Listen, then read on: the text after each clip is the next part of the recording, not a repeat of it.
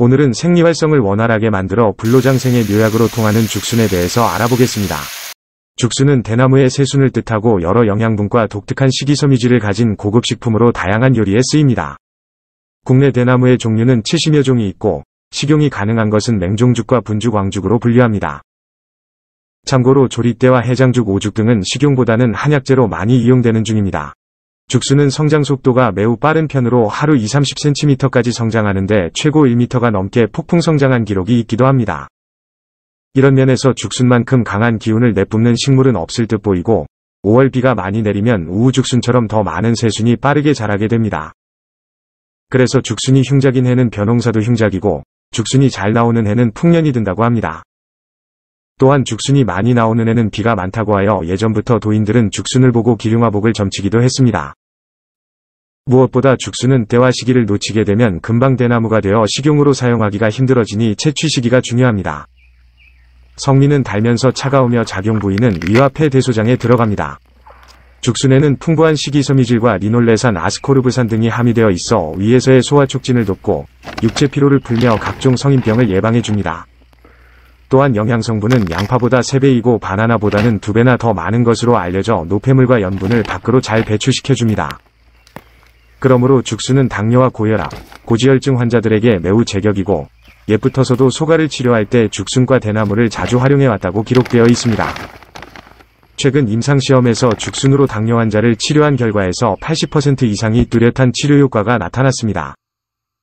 죽순 성분인 아미노산을 투여한 후에 일주일이 지난 후부터 혈당이 유의성 있게 저하되기 시작했고 1, 2개월이 되었을 때는 정상 사람의 대조군과 유사했으며 세포 기능이 회복되고 있다는 것이 확인이 되었습니다.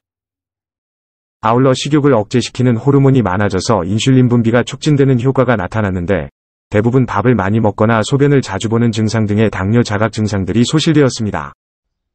결과적으로 죽순은 혈중 인슐린 농도가 몇 배로 증가하였고 혈당량이 확연히 감소가 되어 당뇨병 치료에 매우 효과적인 식품임이 입증되었습니다. 게다가 당뇨지표뿐만 아니라 중성지방 감소 및 혈액순환을 개선시켰으며 고지혈증과 나쁜 콜레스테롤 수치는 15%나 감소하였습니다. 이때 당뇨에는 죽순을 건조시킨 후 분말가루로 만들어 하루 2회씩 물에 타서 마시면 장기간 음용할 수 있는 장점이 있습니다.